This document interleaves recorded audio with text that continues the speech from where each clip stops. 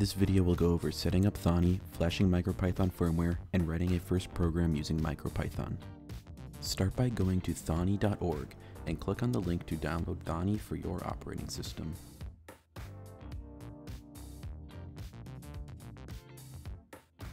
Then, go to your downloads directory and run the executable to install Thonny.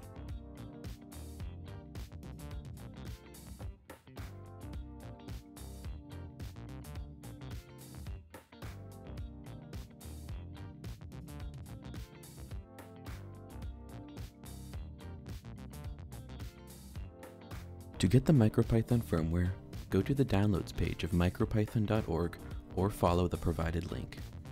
Download the latest stable firmware for ESP8266 microcontrollers. Plug in your ESP8266 Node MCU to your computer using a micro USB cable.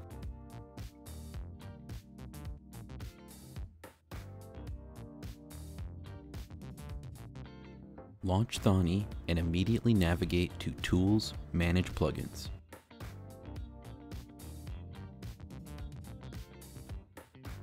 Type ESP tool into the search bar and click on Find Package from PyPI, then click Install.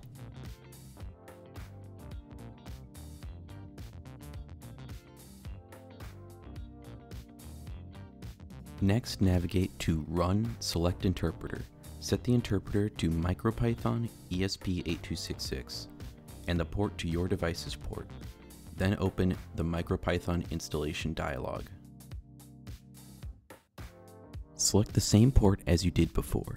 Then click on the Browse button and find the firmware file you downloaded previously from the MicroPython website.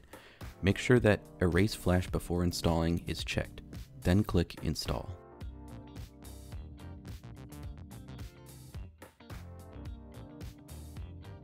Close all of the open dialog windows.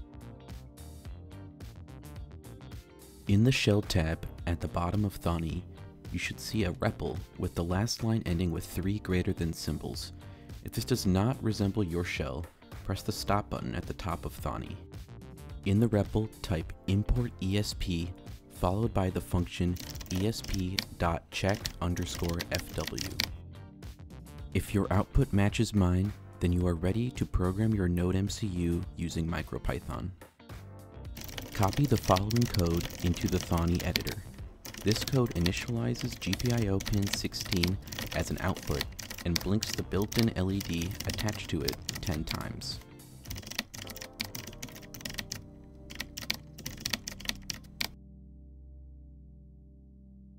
After you have copied the code, navigate to File, Save As, and select MicroPython device. Name the file main.py and click OK. Now click on the green play button at the top of Thonny to run your program. You should see the LED on your Node MCU blink 10 times. This program will run every time you power up your microcontroller and every time you press the restart button. With Thonny open, you can press the stop button at any time so you can enter REPL commands or upload another program. This concludes the video. I hope you found it helpful.